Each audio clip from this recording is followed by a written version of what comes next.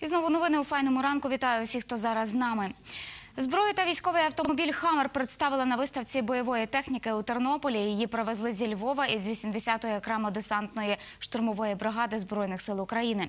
Захід організував обласний військовий комісаріат спільно із 80-ю десантно-штурмовою бригадою Збройних сил України. Бачила техніку і наша кореспондентка Світлана Лазорик. Розпочали показ бойової техніки на театральному майдані о 14-й годині. Представили ручний протитанковий гранатомет, автомат та кулемет. Є вже перші відвідувачі. Серед них 69-річний львів'янин Володимир Грех оглядає зброю. Чоловік каже, що його син учасник бойових дій на сході країни. Чотири рази він був на першій лінії, а п'ять разів він цей. Мені нічого не розказує і не каже, а та тато каже, тобі треба то знати.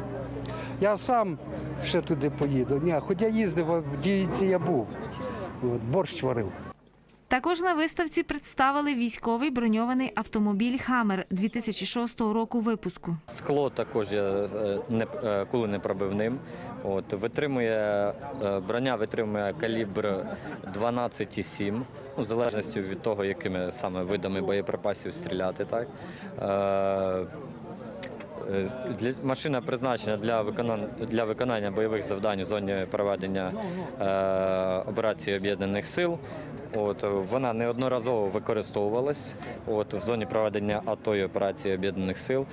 Тернополянин Василь Воляник на виставку потрапив випадково. Це все обладнання, що воно працює, що воно собою являє, ці двері, такі замки, бронірований все. Цікаво вживу би попробувати, як воно все їде. Захід проводять, щоб заохотити до служби у Збройних силах України, каже заступник обласного військового комісара Олег Новіков. долучити свідому молодь до служби в Збройних силах України. Доводиться їм переваги служби, е, які є, вочевидь, останні роки. Доводиться покращене грошове забезпечення, яке в Збройних силах, які є соціальний захист військовослужбовців. Світлана Лазорик, Андрій Прокопів. Новини на Суспільному. Тернопіль. І як нам повідомила пресофіцер Тернопільського обласного військомату Олена Величанська, сьогодні така виставка бойової техніки має відбутися у Зборові та Бережанах, а також 8 серпня у Збаражі та Кременці.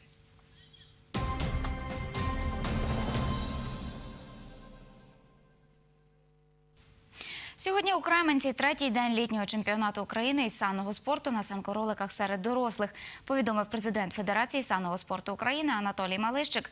За його словами, сьогодні у програмі о 10-й годині розпочнуться офіційні тренувальні заїзди чоловіків, а о 12-й годині тренуватимуться жінки. Відкриття змагань 8 серпня.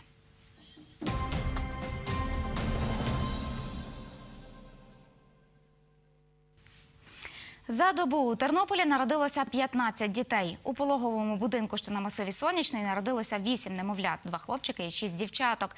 Про це повідомила медсестра Людмила Рикун. І у перинатальному центрі матері і дитини, що у центрі міста, народилося 6 діток, а 7 діток, 6 дівчаток і хлопчик. Повідомила акушер Оксана Острожинська. За словами медиків, усі немовлята здорові. На цьому у мене все. Ми зустрінемось з вами о 8.30.